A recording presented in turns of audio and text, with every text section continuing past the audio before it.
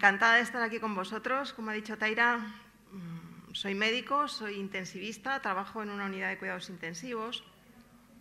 Eh, me dedico a esto desde hace 30 años, o sea, no, echéis cuentas, mejor.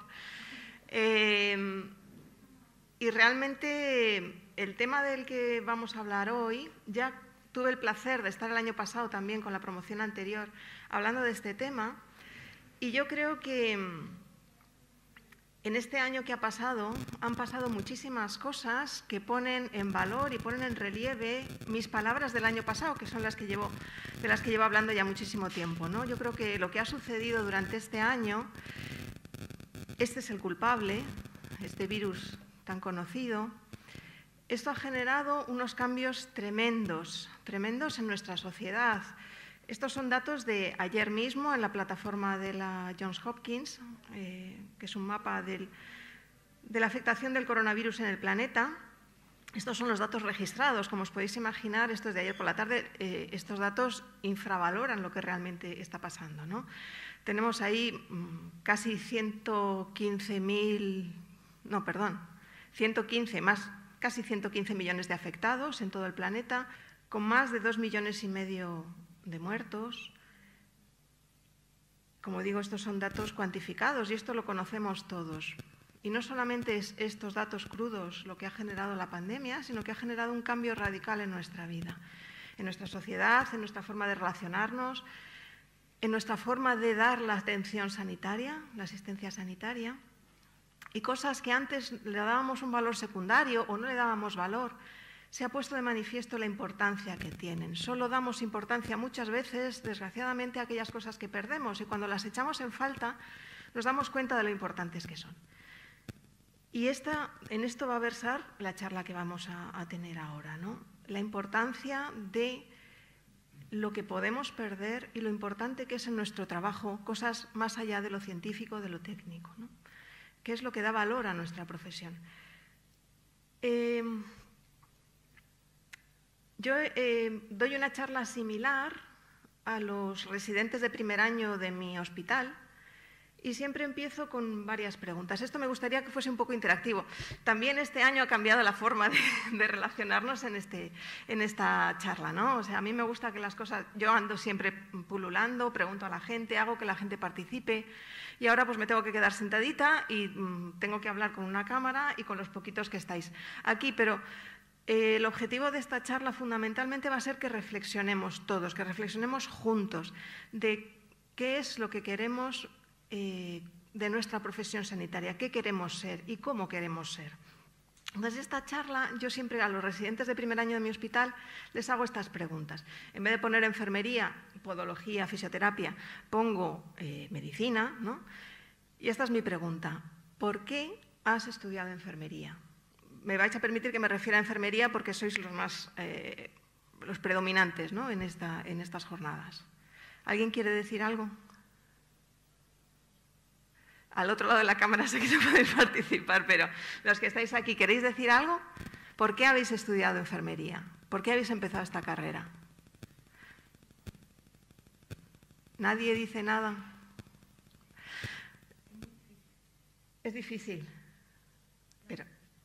No, yo creo que es algo, o sea, algo os ha motivado a hacer esto, ¿no?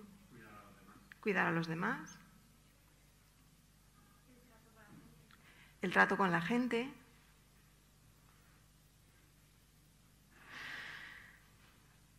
Cuando yo hago esta pregunta, afortunadamente, la mayoría de los que me contestan dicen cosas similares. ¿no? Eh, hay alguno que todavía desbarra, afortunadamente cada vez menos, que dice que, bueno, pues que porque le, gusta la investigación o porque le gusta cómo funciona el cuerpo humano o porque quiere ganar dinero. Estos afortunadamente son muy pocos y se han desencantado ya desde el principio porque aquí no se gana dinero. lo que realmente nos debe mover a estudiar esto es una vocación de ayuda a los demás. Todos los conocimientos que estamos adquiriendo durante estos años de carrera y que vamos a seguir adquiriendo durante toda la vida, porque vamos a tener que seguir estudiando toda la vida, no son para nosotros, no son para enriquecernos nosotros, son para ponernos a disposición de los demás. Todo lo que aprendemos es para ayudar a otros. Ese es el motivo por el que deberíamos estar estudiando este tipo de carreras. ¿Qué es para ti ser un buen enfermero una buena enfermera, un buen fisioterapeuta?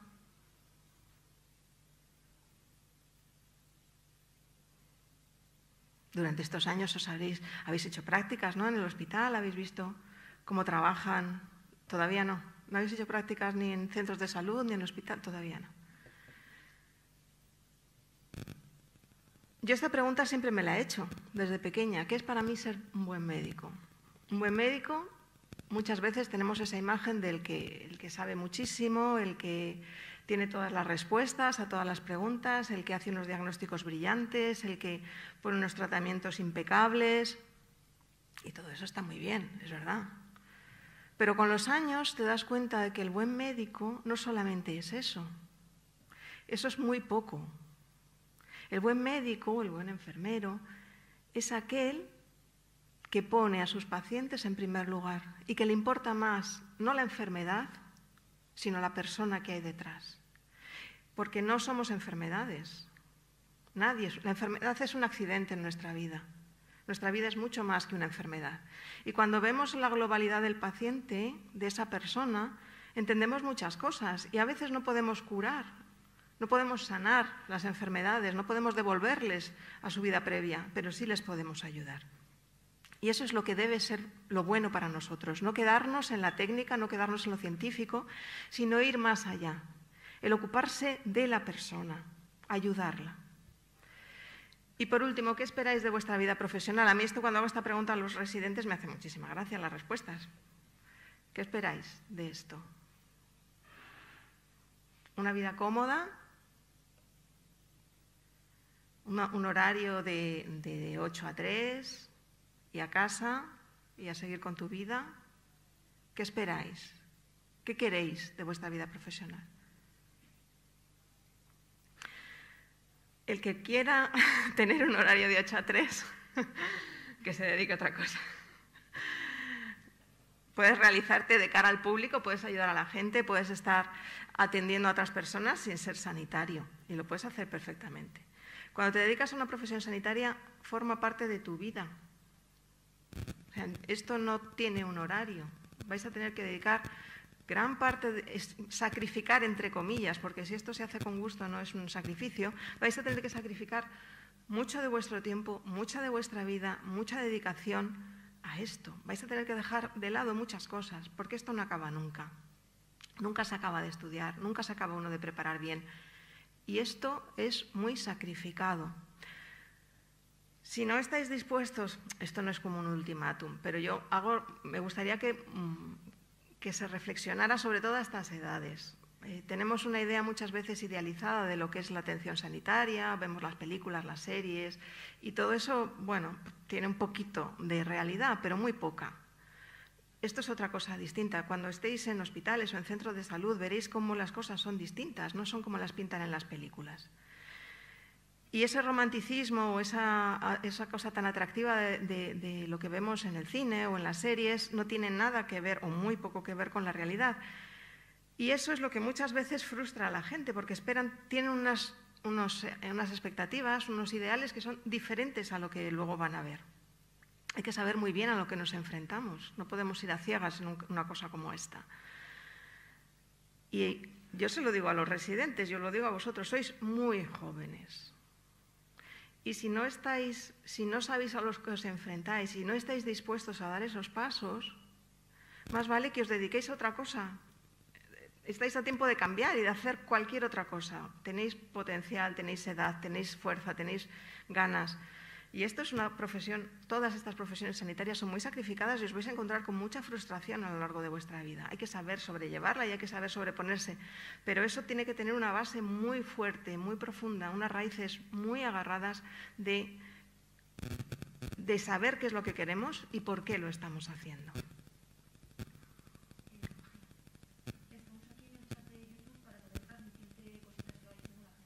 Vale.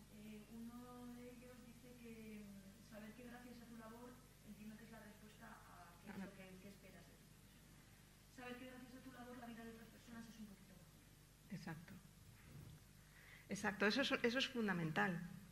Es lo que os decía antes, o sea, nosotros no estamos para llenarnos el saco de cosas que nos enriquezcan solamente a nosotros, o sea, el estudio, el estudio, todo nos enriquece, pero realmente todo eso que hacemos tiene un objetivo, que es ayudar a otros, ¿no? hacer la vida de otros un poquito mejor. Lo que os vais a encontrar cuando empecéis a, bueno, pues a hacer ya vuestra labor asistencial, cuando os dediquéis ya, hayáis terminado vuestra carrera y empecéis a trabajar, os vais a encontrar este escenario. La sanidad actualmente, el mundo sanitario, no, no, es sencillo, está muy tecnificado, está muy fragmentado, por supuesto masificado, con una, una papeleo y una burocracia muchas veces absurda, pero que está ahí, que nos entorpece ver, hacer nuestra labor y ver lo que tenemos que ver. Está muy despersonalizado. Eh, muchas veces, ya lo veréis, los pacientes no tienen nombres y apellidos, son un número, son unos datos, son unas historias que no tienen nada que ver con su, con su, persona, con su persona, con su, ser, con, su entidad eh, humana. ¿no? Vamos todo el día corriendo, nos falta tiempo, tenemos muchísima carga asistencial y esto genera una desmotivación muy importante en los profesionales y una frustración eh, muy alta también, porque no alcanzamos esos objetivos, esos ideales que teníamos nosotros eh, puestos ahí. ¿no? Y además nos enfrentamos a una sociedad que niega el sufrimiento y niega la muerte. Se piensan que hoy por hoy podemos conseguirlo todo. Y esta pandemia yo creo que nos ha puesto las cosas muy claritas. La muerte está ahí, la muerte nos puede llegar a todos, la enfermedad nos puede llegar a todos, no discrimina y eh, el conocimiento científico no ha llegado en, eh, en hora y en momento a poder frenarla. Todo esto nos ha arrasado. Y esto es lo que yo creo que a la sociedad la ha puesto un poquito, en, la ha orientado un poco, le ha puesto eh, la brújula un poquito orientada, porque se han dado cuenta de que esto existe, que la sociedad del bienestar se va con un plumazo cuando llega un virus como este y nos destroza todo. Y en este escenario, ¿dónde queda la vocación? La vocación es una palabra muy bonita que viene del latín, vocatio vocationis, que significa llamada. O sea, la vocación es una llamada. Hay algo que nos ha tenido que llamar a, ejercer estas profesiones. Y en todo este contexto, esa vocación muchas veces desaparece o queda difuminada. Y tenemos que rescatarla todos los días, tenemos que buscar ese punto de anclaje que nos ha hecho estudiar esto y que nos ha hecho dedicarnos a estas profesiones que son las más bonitas del mundo tenemos que recuperarlo para poder afrontar todo esto y ser capaces de ir adelante. Mi ámbito, como os decía, son los cuidados intensivos, que es un poco el paradigma de la deshumanización actualmente. Es un mundo altamente tecnificado en el que es muy fácil que los pacientes, los seres humanos, desaparezcan de un plumazo, se cosifiquen, sean un número, unos datos, un problema a resolver en el que somos muchas las, disciplinas que trabajamos juntos y eso hace también que el trabajo pueda ser un poquito difícil porque requiere una comunicación eficaz, una comunicación eh, clara para que podamos sacar el objetivo adelante, que es el de restablecer la salud de los pacientes más graves. Las relaciones muchas veces no son fáciles porque el ambiente es un ambiente de muchísimo estrés, de muchísima tensión y es donde mayor tasa de desgaste profesional, de burnout, se produce. Y en esta pandemia todo esto se ha multiplicado por mil. En las unidades de cuidados intensivos, aunque esto no sale en las noticias, seguimos al 200% y llevamos un año al 200 o al 500%. Hemos tenido que multiplicar nuestro trabajo, hemos tenido que multiplicar nuestros esfuerzos, nuestro todo y eh, las tasas ahora mismo de desgaste profesional de gente que quiere abandonar la profesión son altísimas. Y esto nos tiene que hacer reflexionar, porque nosotros somos las herramientas que tiene el sistema para poder atender y cuidar a los demás. Y si no se nos cuida a nosotros, ese trabajo es imposible. Y de eso vamos a hablar también un poquito después. Y este mundo de los cuidados intensivos se puede trasladar a cualquier ámbito. Esto que estamos viendo, en mayor o menor grado, está pasando en primaria, está pasando en especialidades médicas, está pasando en pediatría, en cirugía, es decir, todo esto se puede trasladar a otros ámbitos. Y en todo esto, ¿dónde queda el paciente? Enterrado debajo de esa técnica, enterrado debajo de esos datos, enterrado debajo de esa despersonalización. Ahí debajo hay un paciente. Aunque no lo veis, no sé si, bueno, se ven los piececitos aquí, pues debajo de todo eso es un poquito exagerado, pero bueno, que os hagáis una idea, que a veces esto es así. Y no solamente los pacientes, el paciente no es un ser aislado en el mundo, todas las personas somos seres sociales y tenemos una familia, tenemos un amigo, tenemos unas relaciones. ¿Y qué es de ellas? Ellos también sufren. Y nosotros, como os decía, sufrimos también muchísimo. Estamos muchas veces muy desatendidos y muy pocas veces se, preocupan de nosotros y tenemos que buscarnos las vueltas para poder salir de las situaciones sin ningún tipo de ayuda. Entonces, estas tres patas del banco, estos tres elementos, los pacientes, los familiares y los profesionales, somos los seres humanos que formamos la sanidad. La sanidad no son los hospitales, ni las camas, ni los aparatos. La sanidad somos los seres humanos, somos los que conformamos la sanidad y somos los que, a los que nos tenemos que dirigir.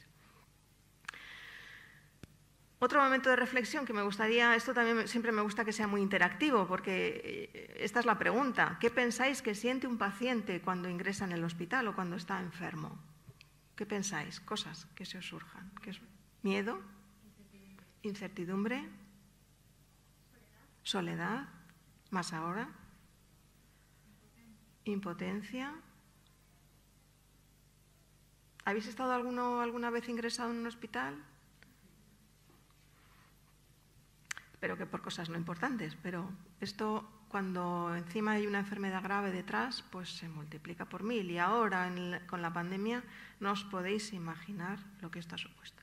Esto no lo digo yo, ni nosotros, esto lo dicen los pacientes. ¿Qué es lo que sufren? Miedo, incertidumbre, muy bien, angustia, una angustia terrible, una soledad tremenda, vulnerabilidad, no se sienten comprendidos, no se sienten escuchados, muy aislados, incomunicados muchas veces, muy dependientes, han perdido su autonomía, necesitan de otros para poder hacer las cosas hasta más simples, ¿no? como ir al baño o poder comer se sienten muchas veces abandonados, con una gran desconfianza, que esto mata todas las relaciones, mata todo el trabajo que estemos haciendo, lo mata la desconfianza, pérdida de dignidad, falta de intimidad y una pérdida de identidad. No saben quiénes son. Todo esto lo dicen ellos, no lo decimos nosotros. Voy a poner ahora unos vídeos muy cortitos que, bueno, me gustaría, bueno, por supuesto, dolor, pero dolor no solamente físico, dolor espiritual, dolor eh, psicológico, sufrimiento psicológico, todo eso lo sienten. Ángela, desde, desde casa dicen varias palabras, la mayoría están ahí descritas, pero aporta Noemi la palabra indefensión, que me parece muy, muy interesante también. Sí, están indefensos. Y, y, todas, a mí, cuando oigo estas cosas, eh, me hacen reflexionar muchísimo yo como profesional sanitario tengo que permitir esto. Tengo que permitir que sientan estas cosas, que sientan indefensión, que sientan abandono, que se sientan perdidos, que tengan desconfianza, que sufran. Tengo que permitir eso. Emotional wounds, except for one special nurse. Every time he came in to look after me, he would lean close to my face and put his hand on my shoulder. And I could see through the slits in my eyes the outline of him, and he would call me by name. And then he would tell me what he was going to be doing that day. And then he did something that not one other person did for the three weeks that I was on life support. He talked to me like a human being. He would talk about everyday things as he went about cleaning my wounds, cleaning my body, you know, washing me, changing my clothes, checking my IV lines. He would talk about things like like what kind of a day it was outside or or who would come to visit me while I was asleep. He talked about common everyday things. And it didn't take him a moment longer than it might have taken otherwise. People are so afraid that if you make a human connection with the patient, that it's going to take too much time. It took him no extra time. And yet, 20 years later, it was 20 years ago that I had a multi-trauma accident that nearly killed me and kept me in, you know, in hospitals for 17 years. But I remember him, and every time I speak, I tell the story of this nurse, this wonderful man, and how much his touch that didn't hurt, that wasn't efficient, how much that meant to me, how much telling me what the weather was like outside or telling me a little anecdote about something that was on the news, anything like that reminded me that I was more than a broken body. And I will never forget him. And it's 20 years. And I still feel the gratitude of that more deeply than I can express to you.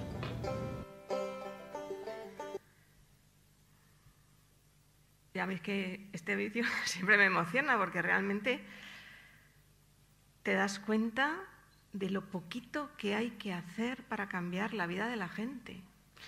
Y lo veréis. O sea, muchas veces estamos haciendo nuestro trabajo y lo hacemos perfecto y lo hacemos muy bien, pero podríamos estar vistiendo una muñeca y no a un ser humano. O sea, mm, es como si no estuviera allí. Y no se nos tiene que olvidar nunca que lo que tenemos en nuestras manos son personas, son seres humanos exactamente igual que nosotros. Y que lo que bastan con detalles como estos, tan sencillos que no interrumpen nuestro trabajo, para darle valor a esa persona y, hacerse, y hacerle sentir atendido, cuidado, querido. Son cosas súper sencillas. Y ya lo veréis como, o sea, la diferencia es tremenda. Ella lo dice, y como ella lo dicen todos, ¿no? Siempre hay esa persona que les ha marcado, y no porque haga mejor las cosas, lo que os decía antes, no porque sea más científico, porque sea el más perfecto, no, simplemente porque le atiende como persona no como un problema o como, o como un objeto, ¿no? Espera, que pasamos la siguiente. Este es otro muy, este es muy corto. Yo siempre hablo de la dignidad. Yo perdí mi dignidad, claro. Yo no tenía dignidad. No tenía instrumentos para que mi dignidad. Mi dignidad estaba en manos de los otros, de los enfermeros, los auxiliares, los médicos, mi familia, los visitantes, los que estaban por allí. Eran los que socialmente nos tendríamos que educar para eso, para estos momentos en que el individuo no puede por sí mismo hacer nada. También la dignidad, yo en ese momento se la di al que tenía enfrente, a los que tenía enfrente. Y bueno, ellos hicieron algunos muy bien, otros regular y otros no saben lo que es la dignidad. La dignidad no nos, no nos la puede quitar nadie, la dignidad va con nosotros. Pero es verdad que en estas situaciones muchas veces pensamos que la perdemos porque no se nos trata como se nos tiene que tratar. Lo ha explicado perfectamente Raquel. ¿no? Y eso tenemos que tenerlo en cuenta. tenemos la vida de las personas, de otras personas en nuestras manos. Y esto es la regla de oro. O sea, haz a los demás lo que te gustaría que te hicieran a ti, o no hagas a los demás lo que no te gustaría que te hicieran a ti. Pues eso era lo que oía yo, ¿no? aquella discoteca infernal detrás de mi espalda, pi, gong, tal. Bueno, me salvaron la vida, ¿no? Pero cada vez que alguien entraba, lo que hacía, en lugar de mirarme a los ojos, era quedarse hipnotizado delante de aquellas máquinas infernales. Eso es, ¿no? Eso es. Y, hay que mirar las máquinas, evidentemente, para eso están. Y nos ayudan muchísimo. Pero no cuesta nada mirarle al paciente y decirle, tranquilo, no pasa nada. No pasa nada, es que no pierdes un segundo, ¿no? Cuando una persona ingresa en el hospital o está enfermo, esto supone una, bueno, una, fractura en su vida. Hay un antes y un después, su vida se interrumpe Pierde su vida familiar, pierde su vida, pierde su vida social, su trabajo se interrumpe, si está estudiando sus estudios, todos sus planes quedan aplazados, la diversión, los viajes, es decir, toda la vida de una persona se detiene. Pero no solamente la de esta persona. Esta persona, como decía antes, no está sola. Tiene amigos, tiene una familia, tiene un, un entorno social en el que está integrada, que también sufre. Y esta familia eh, hablo de familia, entenderlo en términos generales, pero realmente todos tenemos familia, son los seres más cercanos que nos quieren, con los que convivimos. Esta familia, su vida también se detiene y se interrumpe, porque están eh, en torno a una puerta de una habitación, de una UCI, de una urgencia, y ahí están, pasan las horas y tienen esa misma sensación de dolor, de frustración. ¿Cuántos pacientes nos dicen a nosotros, eh, hable con mi mujer porque lo debe estar pasando fatal? Cuando el que lo está pasando realmente mal es él. Pero es así, es decir, el sentimiento es el mismo. Cuando tú quieres a una persona y esa persona sufre, te gustaría que el sufrimiento, te gustaría tener tú el sufrimiento que no lo tuviera ella. Pues eso es lo que vive la familia. ¿no? Y esta familia está ahí y forma parte del paciente. No podemos separarlos y también es nuestra labor atenderles.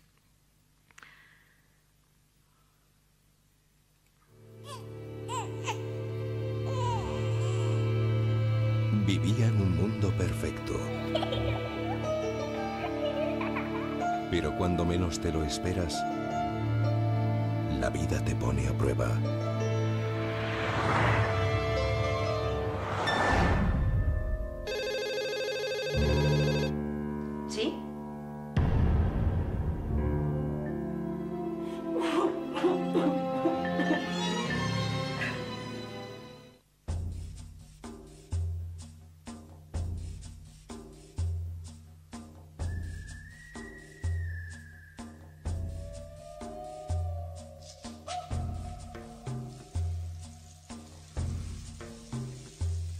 Está preparado para hacer la visita. cuando alguien que de tu familia tiene un accidente o tiene una enfermedad y pasa a estar ingresado, esto puede pasar en cualquier momento. O sea, un accidente de tráfico no estamos ninguno, o cualquier tipo de trauma, no estamos ninguno libres de ello. Nos puede pasar a todos en cualquier momento. Esto interrumpe, por supuesto, tu vida, interrumpe la de todo, tu familia, y es algo inesperado y algo tan, tan chocante, tan complicado que, no sabes muchas veces cómo, digerirlo. ¿no? Y de repente tu rol cambia. Ya no eres la madre, ya no eres el padre, ya no eres la hermana, ya no eres el marido, la mujer, el hijo. Ahora eres la visita. ¿Cuándo, cuándo, ¿En qué momento he dejado de ser madre, hija, padre, hermano, mujer, marido, para ser visita? Pensarlo, ¿no? Porque un familiar en el hospital siente exactamente lo mismo. Eh, vamos a ir un poquito más rápido, pero si os dais cuenta, siente miedo, siente lo mismo, incertidumbre, angustia, soledad, vulnerabilidad, incomprensión, aislamiento, incomunicación, dependencia, abandono, desconfianza. También pierden su dignidad, no tienen intimidad.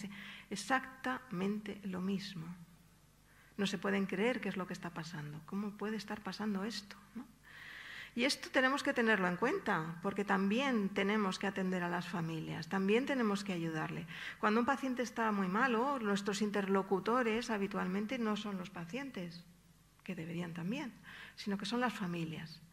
Y ese papel que, que adquieren en ese momento de ser responsables muchas veces de las tomas de decisiones, nos tendrían que poner eh, en, bueno, en esa situación de entenderlo, ¿no? O sea, entenderles y ayudarles en, ese punto, ¿no? Y en todo, porque realmente no podemos, como os decía, separar al paciente de su familia, no debemos separarles, ¿no? Calculo que en un par de horas nos volvieron a llamar para avisarnos que lo tenían que entubar. Entonces, pues bueno, yo, yo mi interés era entrar también para, para explicarle, sobre todo a nuestro hijo, decirle que, era lo mejor, que iba a sufrir menos y darle esa, transmitirle esa, esa tranquilidad ¿no? que creo que era necesaria antes que lo durmieran, que además nos iba a enterar, explicarle un poco cómo iba a ser la técnica y, y así hacerle sentir más tranquilo. Entonces cuando entré, lo primero que me dijo es que mm, se había sentido morir, que no lo dejara más solo. Uf, es que se remueven eso cosas. Fue, eso fue, tal cual. Entonces, bueno, o sea, dije que bueno, así fueron las cosas y, y bueno, siguieron el procedimiento. Y en ese momento, una enfermera, sensiblemente también emocionada, me pidió disculpas. Me pidió disculpas de haberme hecho marchar, porque vio la angustia y el sufrimiento y el miedo de que se iba a morir. Y yo se lo agradecí.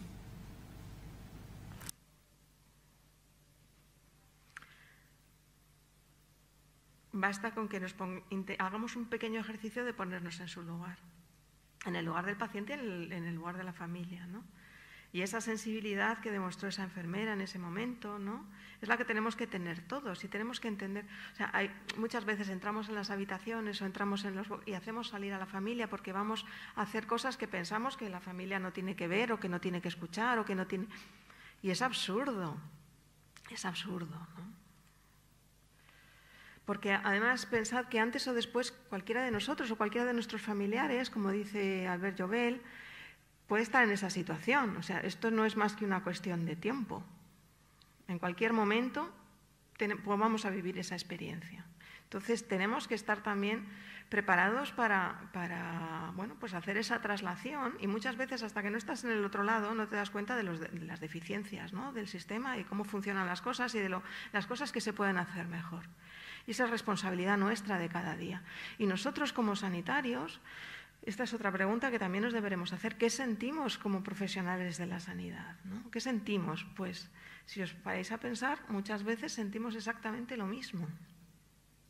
Sentimos el miedo ante situaciones desconocidas o ante eh, mm, bueno, pues momentos en los que no sabemos cómo van a ser las cosas. ¿no? Tenemos mucha incertidumbre también en el cuerpo, mucha angustia, mucha soledad. Muchas veces estamos muy solos y ya lo veréis.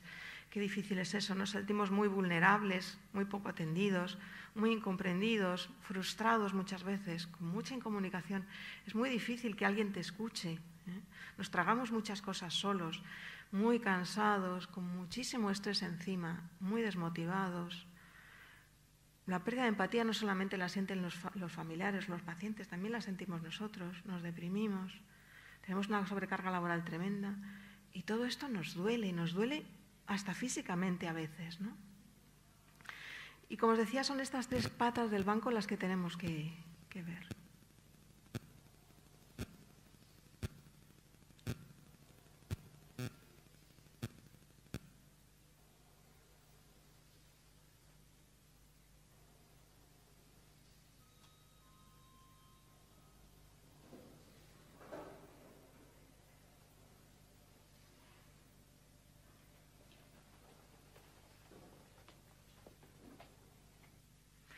Esta es, un fragmento de una película, como habéis visto, ni una palabra, ¿no? Basta con las miradas. Una película que os recomiendo que veáis, no la habéis visto, que se llama Hipócrates, una película francesa que trata sobre bueno, pues la, experiencia en un hospital de un eh, estudiante de medicina que ha terminado la carrera, está haciendo como las prácticas antes de hacer la especialidad. ¿no? Y es eh, bueno, pues una experiencia de frustración Mm, tremenda, ¿no? Entre lo que realmente has estudiado, lo que quieres hacer y cómo es la realidad, eh, cómo se pasa por encima de los, en, este fragmento especialmente, cómo se pasa por encima de, las voluntades de los pacientes, ¿no? Sin tenerles en cuenta y se actúa de una forma... Y toda esa frustración se refleja en esa mirada, ¿no? En esa mirada de no entender nada y de esto es no, no quiero hacer esto el resto de mi vida. Y muchas veces, ¿qué tenemos los profesionales? Pues lo que nos ofrecen es esto, un kit de reducción de estrés que se trata de que te des golpes en la cabeza hasta que se te pase o te desmayes. ¿no? Es decir, no tenemos recursos, nadie nos ofrece ayuda ni, ni, herramientas para salir de este pozo en el que estamos muchas veces metidos. ¿no? Y entonces, en todo este contexto que os he pintado, que esta es la realidad, ¿no? No, no penséis que me la he inventado, esta es la realidad. Surge esta palabra. ¿Creéis que es necesario humanizar todo esto? ¿Lo pensáis? ¿Pensáis que podemos cambiar las cosas? ¿Que debemos cambiar las cosas? Porque realmente cuando miras, miras el mundo sanitario ahora mismo, ves esto, ves humanos, pero no ves humanidad. Y la humanidad debería ser intrínseca al ser humano, y no es así, no es así. Porque la humanidad debe impregnar nuestras acciones y no lo está haciendo.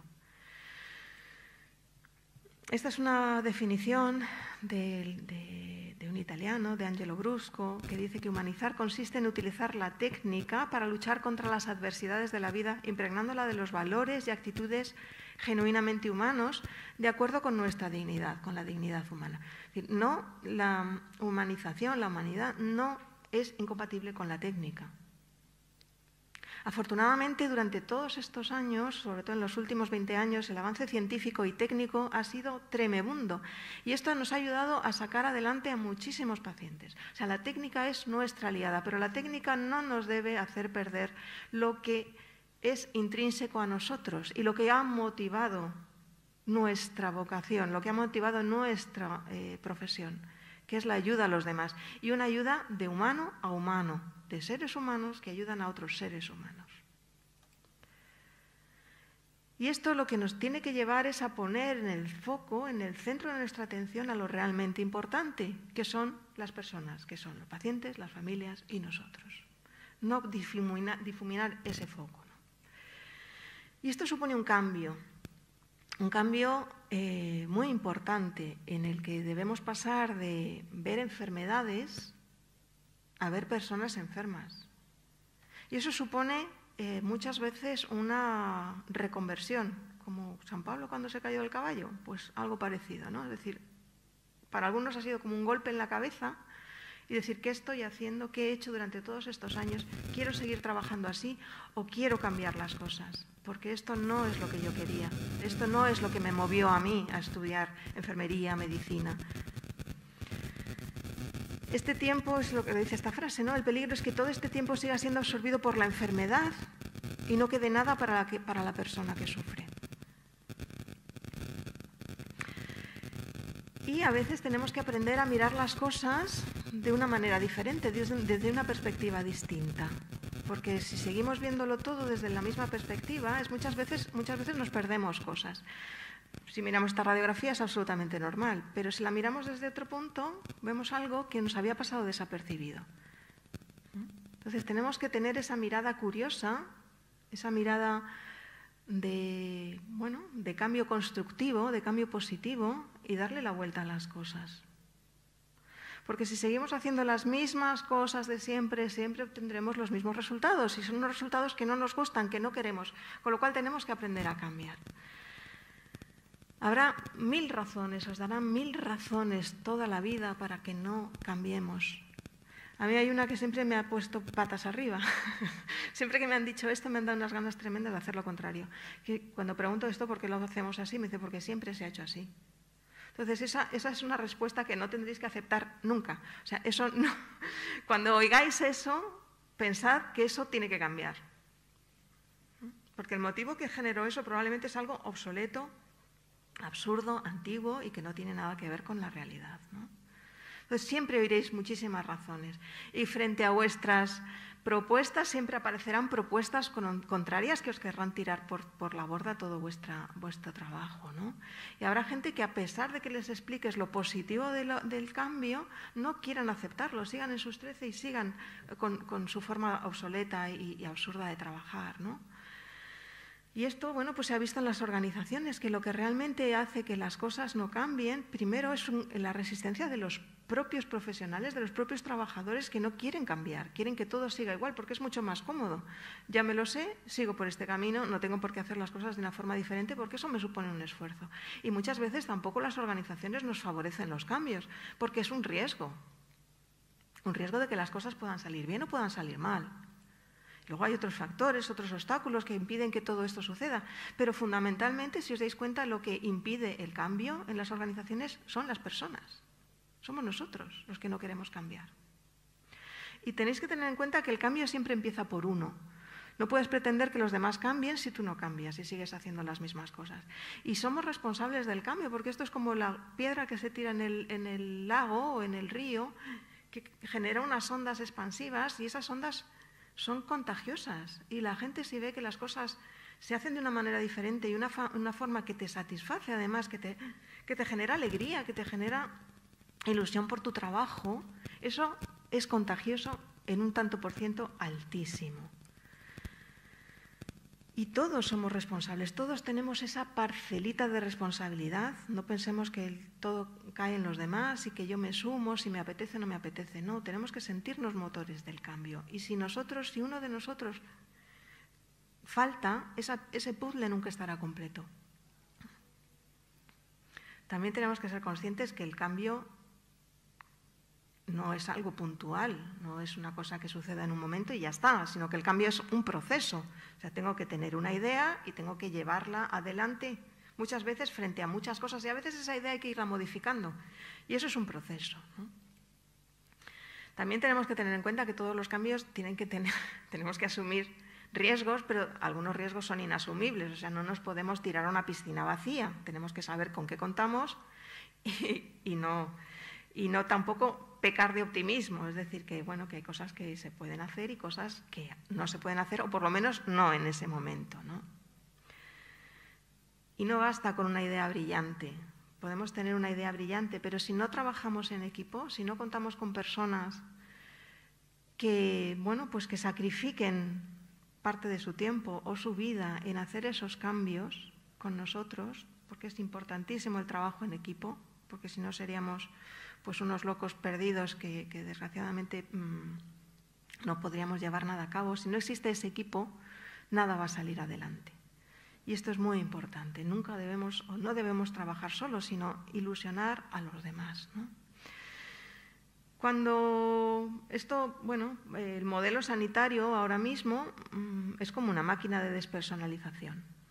O sea, la gente entra en el hospital o entra en el sistema de salud tiene su personalidad, su historia, su vida, su tal, y pasa a ser todos pacientes, todos pacientes iguales, pum, pum, pum, pum, pum, pum, ¿no? Entonces, al final, eh, esa despersonalización hace que no hagamos un cuidado como debemos hacerlo, un cuidado serio, sino un cuidado en serie, ¿no? Esto es un poco lo que tenemos que... Eh, o sea, por esta cámara deberían salir las mismas personas, las mismas personas, con un problema, que es un problema de salud, pero son ellos mismos, no son todos iguales. Durante estos años de carrera habéis tenido que aprender muchísimas cosas, cosas que son muy importantes y que hay que aprender y que hay que estudiar. Eso es así. Tenemos que aprender muchos conocimientos, muchas competencias, muchas habilidades, que son las que nos van a permitir ayudar a los demás. Pero solamente técnicas. O podemos aprender otras cosas. Nos están enseñando otras cosas, como competencias emocionales, competencias de relación, éticas, espirituales, culturales, ¿nos están enseñando eso? Yo siempre pongo el mismo ejemplo. Yo durante la carrera os podéis imaginar la cantidad de cosas que tuve que estudiar igual que vosotros. Cosas que después te dedicas a un campo determinado y esas cosas no las vuelves a necesitar en tu vida. O sea, yo me aprendí la clasificación de las glomerulonefritis, de las leucemias, y no, no he tratado glomerulonefritis ni he tratado leucemias y se me ha olvidado y cosas que he necesitado todos los días de mi vida, nadie me las ha enseñado. Nadie me ha enseñado a comunicarme con los pacientes o con las familias. Nadie me ha enseñado a dar malas noticias. Nadie me ha enseñado a dar una ayuda emocional o espiritual. Nadie me ha enseñado. Y todos los días tengo que comunicarme, tengo que dar buenas, malas noticias. Todos los días tengo que ayudar a la gente. Y eso no me lo ha enseñado nadie. Y es aquí donde hay que empezar a aprender eso, en las facultades. ¿De qué estamos hablando? Pues estamos hablando de manejar las emociones, las de los demás y las mías, de la resiliencia, de una comunicación efectiva, de dar malas noticias, de esa relación de ayuda, counseling que se dice ahora, ¿no? De la atención al duelo, de la escucha activa, del respeto, la empatía, la asertividad, el trabajo en equipo tan difícil, tan necesario, tan imprescindible. Nadie nos enseña a trabajar en equipo. Y es lo que vamos a tener que hacer toda nuestra vida y de la compasión. Lo decía Taira antes, ¿no? ¿Qué es eso de la compasión? Pues es una herramienta que tenemos que tener en nuestro bolsillo todos los días. Esto es lo que llamamos nosotros las human tools, ¿no? las herramientas de humanización. Y las vais a necesitar todos los días de vuestra vida profesional. y fuera también, porque nuestra profesión no acaba en, el puesto de trabajo. Somos la enfermera para todos, somos el médico para todos, somos... Eso es, ¿no? Y ahora preguntaros, ¿dónde os gustaría trabajar? ¿Dónde te gustaría ser atendido? ¿En un hospital con humanizado o no humanizado? Pues esa es una pregunta que, surgió hace unos años. Surgió de, os voy a hablar un poquito por encima del proyecto UCI, que es donde estamos, bueno, pues eh, donde ha surgido toda esta, toda esta corriente de humanización dentro de los cuidados intensivos. Voy a, voy a, voy a ver cuánto tiempo me queda. Vale, me quedan diez minutos. Ángela, perdona, me preguntan desde casa, antes de que te metas con el proyecto UCI, ¿Y cómo se consigue, me pregunta Enar, y cómo se consigue que la falta de tiempo, la mala organización sistemática de la práctica enfermera no te impida impulsar o ser motor de ese proceso de cambio en la profesión? Efectivamente, estos son los palos en las ruedas que tenemos todos los días. Y, a veces eh, la lucha no es solamente a pie de cama, sino la lucha también es en, bueno, pues en los despachos. Es muy complicado. Es decir, el cambio del sistema sanitario, de, esa maquinaria eh, muchas veces muy obsoleta y que es una resistencia al cambio muy importante, es muy complicado. Pero a veces lo que hay que conseguir no es que cambie el sistema, sino las personas que mueven el sistema, que es lo que os decía antes. Eh, esto lleva mucho desgaste mucho desgaste, que a veces, os lo digo porque yo llevo, pues desgraciadamente, bueno, afortunadamente, muchos años trabajando y muchos años viendo esto y también, pues desesperándome en muchas situaciones, eh, hay que ser muy insistente y sobre todo no hay que perder el objetivo y hay que ser eh, astuto y demostrar que las cosas que cambian funcionan. El que nos contraten a más personas cuando no nos da la vida para hacer nuestro trabajo es complicado porque los recursos son los que son y el dinero es el que es, pero a veces eh, cuando demuestras que los cambios que estás haciendo funcionan, es más fácil que te contraten a otra persona. Pedir por pedir es complicado. A veces tenemos que actuar, ser un poquito lanzados y hacer cosas, siempre con permiso muchas veces, ¿no? y demostrar que eso funciona. Y como eso funciona, necesito más personas. Os doy un ejemplo nuestro. ¿no? Nosotros pusimos en mi hospital, en, mi UCI, pusimos en marcha hace dos años, un poquito más, una consulta de síndrome post-UCI, que es algo bastante nuevo. Y esa consulta, inicialmente, pensaban que, pensaba la dirección que era innecesaria. Cuando empezamos a mostrarles lo importante que era y el cambio que se producía en los familiares y en los pacientes cuando les, cuando les veíamos después en una consulta, empezamos a hacerla, ¿eh? sin vamos, con permiso, pero, pero sin ningún tipo de medio, se vio que eso era positivo. Y todo eso retroalimentaba nuestro trabajo dentro de la UCI y hacíamos las cosas de forma diferente y mejoraban los tiempos de, asistencia, mejoraban el pronóstico del paciente. Entonces, todo eso muchas veces tienes que demostrarlo. Y después esta, esta, consulta nos han dado tiempo para hacerla, nos han dado material para hacerla, nos han dado... Es decir, que todo esto a veces tienes que demostrar que las cosas funcionan. No puedes ir con un proyecto muchas veces, aunque sea muy bonito, que no tiene una base, que no está sustentado en una base. Y tienes que convencer y tienes que ser muy pesado. Y a veces tienes que ser muy astuto. Y el trabajo, los horarios son los que son, son leoninos, no, acabamos muchas veces a la hora que tenemos que acabar, nos vamos mucho más tarde por dejar las cosas terminadas. Y eso va a ser muy complicado porque los recursos humanos es, bueno, yo creo que es la, piedra de toque en todas las organizaciones. ¿no? Pero bueno, eh, a veces hay que buscarse los recursos. ¿no? No sé si he contestado. Es, compleja, ¿eh? es una pregunta compleja y que no, probablemente nadie tiene la solución eh, a esa pregunta. ¿no? Pero bueno, muchas veces la ilusión es lo que nos mueve y la ilusión es lo que yo creo que tiene que hacer que cambien las cosas. ¿no? Y con ilusión se consigue mucho y sin, bueno, pues sin venirse abajo por las, por las negativas. ¿no? Bueno, ¿y qué es el proyecto UCI? Pues, eh, eh perdonad. El proyecto UCI nace de esta cabeza, que es Gabriel, Eras, no sé si le conocéis, espero que le conozcáis más adelante, Gaby. Gaby es una intensivista eh, que hace unos años eh, dijo que él no quería seguir trabajando así, que lo que veía no le gustaba y que esto había que cambiarlo. Y tuvo, bueno, aparte de tener un carisma muy especial y, mucha, mucha capacidad de trabajo y una ilusión tremenda, pues bueno, pues se rodeó de una serie de personas, entre las cuales doy gracias por encontrarme, en las que pensábamos lo mismo y nos pusimos manos a la obra. Y lo que, en lo que se basa esto es en pararse y mirar a nuestro alrededor y ver qué es lo que vemos y ver si esto que vemos nos gusta. Evidentemente vemos pacientes que suelen estar presentes, las familias que pueden estar o no estar presentes y nosotros, los profesionales, que más vale que estemos, porque si no esto sería un desastre. ¿no? Entonces, todo esto que estamos viendo lo podemos cambiar. Y el proyecto nace con esa idea de cambio, ¿no? de tener una visión integral en este momento, primero de las UCIs, que era nuestro, nuestro medio de trabajo, para mejorarla, tanto poniendo a las familias, a los pacientes y a los profesionales en el centro de la atención. No es un proyecto de ideas solamente, es un proyecto de investigación, es un proyecto de, poner eh, esas ideas en marcha y de cambiar las cosas. ¿no? Por supuesto, multidisciplinar, médicos, enfermeras, auxiliares, administrativos, arquitectos, eh, diseñadores, psicólogos, fisioterapeutas. Es decir, esto es una cosa multidisciplinar e internacional. Los objetivos son sencillos. Primero, por supuesto, humanizar los cuidados intensivos. Luego, servir de foro de encuentro para profesionales, familiares, pacientes. Difundir y hacer accesibles y entendibles los cuidados intensivos a la población. Esto en la pandemia nos ha ayudado mucho.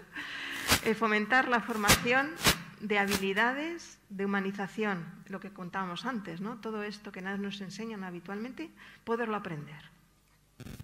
¿Y otros objetivos? Pues bueno, eh, remotivarnos, ¿no? remotivar a los profesionales, esa vocación que hemos perdido, volverla a poner encima de la mesa, que la gestión clínica pueda ser humanizada y que sea también el motor del cambio, un cuidado centrado en las personas, investigar, publicar, difundir y aunar iniciativas. ¿no? El proyecto se basa en tres pilares fundamentales.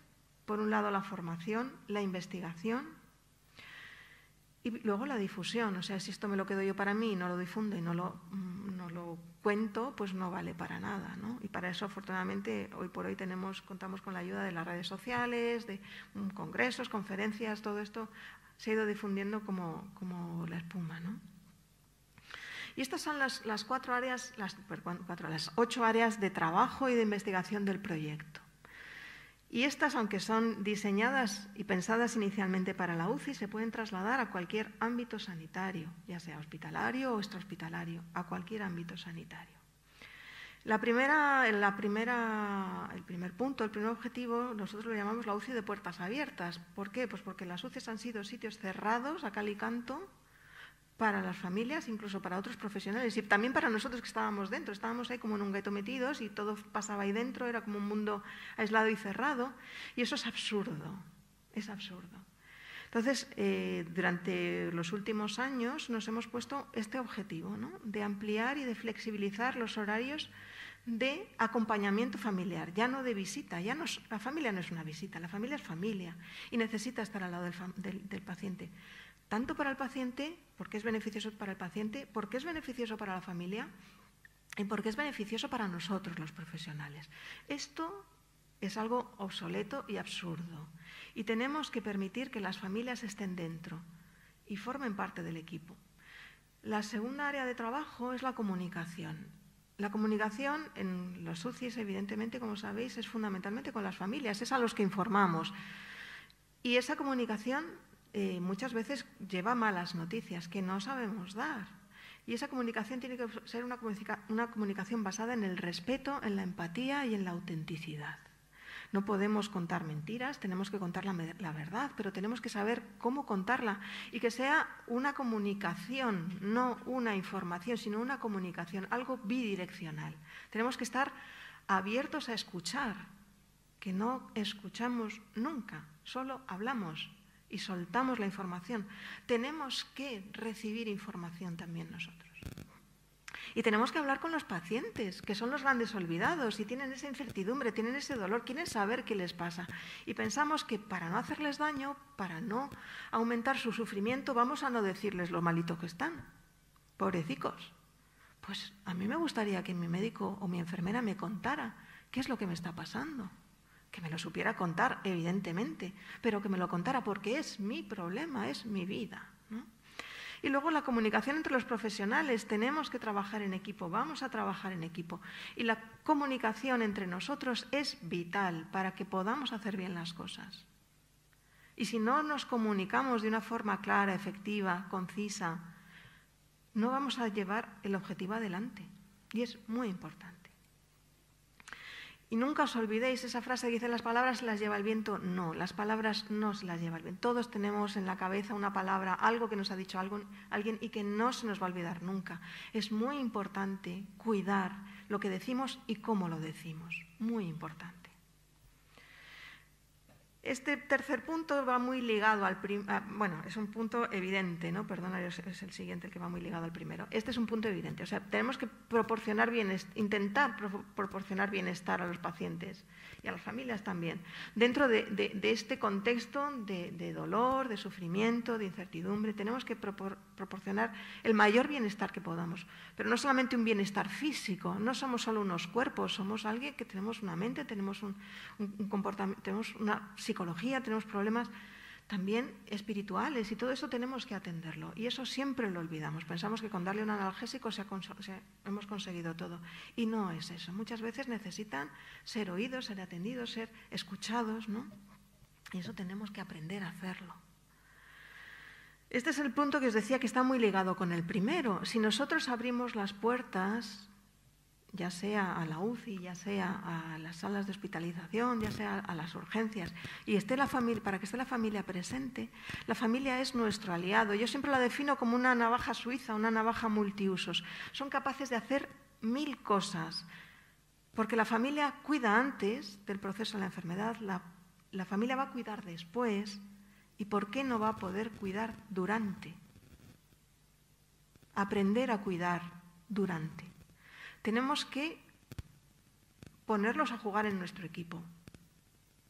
Hay una iniciativa muy bonita que son escuelas de familias en las que se enseña a los familiares determinados cuidados que va a necesitar el paciente después. Y eso es muy importante. La familia puede bueno, es una herramienta, no os podéis imaginar. Las UCIs están llenas de delirio, pacientes que están, bueno, pues con sus alucinaciones, su delirio por la medicación, por el proceso, lo que sea. La familia es la mejor herramienta antidelirio. El acompañamiento de la familia, el estar la familia es el mejor aliado nuestro. El quinto punto sería el cuidado del profesional. Ya hemos hablado de esto, no voy a insistir. Tenemos que ser cuidados para poder cuidar. Sexto punto. Esto lo hemos visto ahora en esta pandemia de una manera muy patente. Vemos las secuelas de los pacientes que han sufrido COVID de una forma muy, muy llamativa, ¿no? Todas esas secuelas físicas que vemos, pero también hay secuelas psicológicas, también hay secuelas cognitivas. Todas esas secuelas no solamente se producen en los pacientes COVID, todo esto lleva produciéndose en los pacientes críticos o en pacientes no críticos hospitalizados durante muchísimos años, vamos, toda la vida. Y es ahora cuando parece que lo estamos viendo. Esto lo tenemos que aprender a prevenir dentro de los hospitales, dentro de las unidades de cuidados intensivos, seguir después, tratar después y ayudar después. El trabajo es multidisciplinar, la familia está muy implicada, no hay solamente un síndrome postcuidados eh, intensivos del mm, paciente, sino también de la familia. Hay muchas iniciativas en marcha en mi hospital, grupos colaborativos fuera internacionales que están tratando este tema. Séptimo tema, pues tenemos que aprender o intentar cambiar el, sitio en el que estamos trabajando. No es lo mismo ni trabajar ni estar en un sitio masificado, sin intimidad, con ruido, con estrés palpable, a un sitio como este. Cualquier paciente, cualquier familia preferiría estar en, este, en, esta habitación que no en ese mare magnum. Y nosotros trabajar en un sitio ordenado, tranquilo y, limpio, ¿no? que no en un caos. ¿no? También nosotros, o sea, no nos gusta trabajar ni descansar en estas condiciones, es un poquito exagerado, pero realmente muchas veces no tenemos un sitio donde podernos sentar y estirar las piernas durante cinco minutos, ¿no? Y también las familias, o sea, eso de estar hacinados a, una puerta de pie esperando, cuando podemos proporcionarles unas salas que nosotros llamamos más salas, más salas de estar que salas de espera, ¿no? salas donde puedan eh, bueno, pues estar mm, descansando, esperando, que puedan tener cierto grado de intimidad. ¿no? Y a veces cuando la infraestructura no la podemos cambiar porque no podemos tirar tabiques, pueden surgir ideas muy imaginativas que nos ayudan a que el paciente pueda estar más cómodo, pues como esos paneles o esos murales que nos ayudan a que el paciente se pueda por lo menos evadir. ¿no? Y el último punto, que son los cuidados al final de la vida. Todos nos podemos, nos vamos a morir y todo el mundo se va a morir. Nosotros, nuestros pacientes, nuestra familia, todos nos vamos a morir. Es algo que está ahí y aunque no lo queramos, va a suceder. Como decía Borges, la muerte es como la siesta, una costumbre que tiene la gente, ¿no? Pues eso, ¿no? Eh, nos vamos a morir. Y nuestra labor en esa, en esa parte final de la vida es fundamental. Muchas veces se piensa que cuando un paciente se va a morir ya no hay nada que hacer. Hay muchísimo que hacer. El objetivo no es, el objetivo es diferente, el objetivo ya no es curarle. El objetivo es ayudarle en ese tramo final de la vida y hacer que ese tramo final de la vida tenga sentido, que se sienta querido, que se sienta acompañado, que se sienta cuidado. Todo eso es una labor completamente distinta, pero primordial. El final de la vida es un momento único. Y hay muchas cosas que podemos hacer, hay muchas iniciativas se están viendo, ¿no? Pues eso de los últimos deseos, cosas que hay que tener en cuenta que la gente que, bueno, pues también tiene que saber que se va a morir y puede tener deseos en ese último momento y si está en nuestra mano ayudarles a cumplirlos, ¿no? Pero fundamentalmente yo creo que lo que hay que poner en valor son los cuidados paliativos ahora mismo. Esos cuidados paliativos son fundamentales, son fundamentales. Estas son las palabras de un paliativista. Ah, creo que el mantra que predomina en intensivos en general, sobre todo en los médicos, y no los que estáis aquí, pero los que no han venido, es, este paciente no se me muere en mi turno. Este es el mantra. Bien. Esta persona hay que mirarla con compasión, porque este no se me es que esta persona está siendo un impostor, se ha puesto en lugar de Dios y esto es bastante difícil. Y además siempre acaba fatal, porque como se deba morir, va a quedar muy tocado. Solamente las personas que... El y el cambio de mantra que os propongo es, como vemos que va a morir, vamos a juntos procurar que muera bien, con los suyos y bien acompañado. Este es un buen cambio de mantra que os propondría. Eso es, ¿no? Este es Enrique Benito, espero que le podáis eh, disfrutar. si lo buscáis en redes o en YouTube, bueno, tiene mil conferencias, es una gozada escucharle. Es un, es un oncólogo que se ha dedicado durante muchísimos años a los cuidados paliativos, es una mente privilegiada y a mí por lo menos me ha ayudado mucho a entender qué es esto, ¿no? O sea, ese tramo final de la vida por el que pasamos sin querer mirar, sin querer verlo, de puntillas, pues pasamos y damos un poquito de analgesia y nos vamos, es un tramo importantísimo y nuestro papel es fundamental. Todos nacemos una vez y todos nos morimos una vez y tan único como el nacimiento es la muerte, ¿no? Y todo esto que os he contado de los cuidados intensivos es absolutamente trasladable a todos los ámbitos sanitarios, a todos, y de eso se trata, ¿no? Se trata de que esto se contagie y así está siendo, está siendo pues en otras iniciativas, en otros puntos como pueden ser las urgencias, como puede ser hasta la gestión, la oncología, la radiología y también fuera de la sanidad. Hay proyectos también de humanización dentro del campo de la policía, que fijaros si es diferente al nuestro, o de la justicia. Es decir, que esto es una una necesidad no solamente dentro del mundo de la sanidad, sino una, necesidad social, una necesidad de nuestra sociedad. Y por último, quería acabar pues, con Gaby, con Gaby que es el, bueno, pues, eh, el promotor de todo esto, ¿no? que eh, bueno, pues es una persona muy especial, que ojalá podáis seguir y ojalá podáis conocer, espero que sí. Y, y bueno, esta es una conferencia, un TED que dio en Valladolid, sobre el cuidado del invisible ya hace unos cuantos años, hace ya seis años. Eh, el, sufrimiento es una cosa absolutamente subjetiva, es universal, pero es de interés general. Y entonces yo, dándole vueltas a la cabeza, digo, vale, ya está, ¿y qué hacemos? bueno, tenemos que recuperar entre todos el poder de los sentidos, que la objetividad científica y la velocidad en el trabajo ha hecho que dejemos a un lado. Tenemos que volver a mirar. a escuchar lo que se dice y lo que no se dice, a oler y a palpar las necesidades de nuestros pacientes, de las familias y de los profesionales. Y entre todos ustedes y nosotros tenemos que hacer la revolución de la emoción.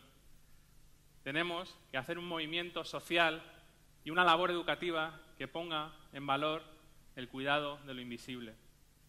No se trata de salvar vidas o del éxito o del fracaso, se trata de luchar por conseguir pasar de una sanidad ejemplar a una sanidad excelente y centrada en las personas, donde las emociones de todos nosotros no estén metidas en un armario.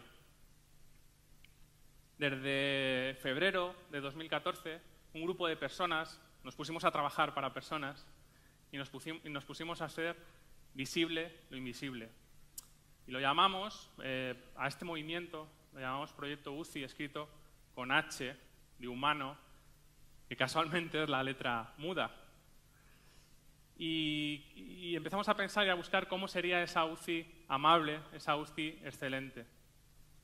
Y se haría mejorando la comunicación entre todos nosotros, abriendo las puertas y dejando que las familias se impliquen y ayuden en el cuidado.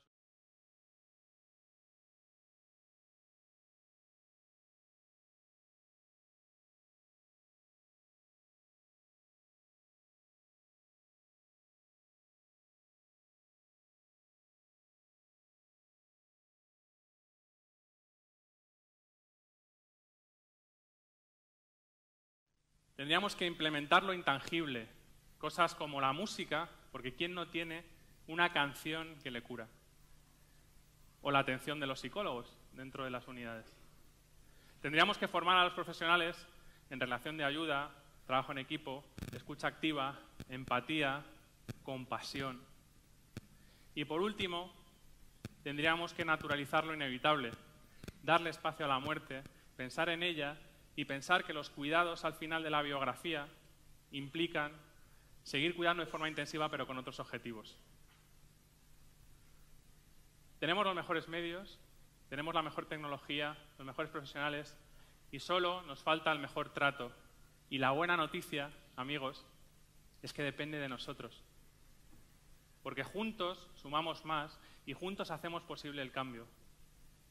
Mi sorpresa fue que esta idea tan simple, tan lógica y tan redonda, se fue extendiendo por toda la geografía española y ha ido traspasando fronteras y resonando e incendiando el corazón de miles de personas. Porque como dice nuestro logo, el logo del proyecto, nuestra arma más poderosa no se ve. Estoy hablando de nuestra alma humana en llamas. Muchas gracias.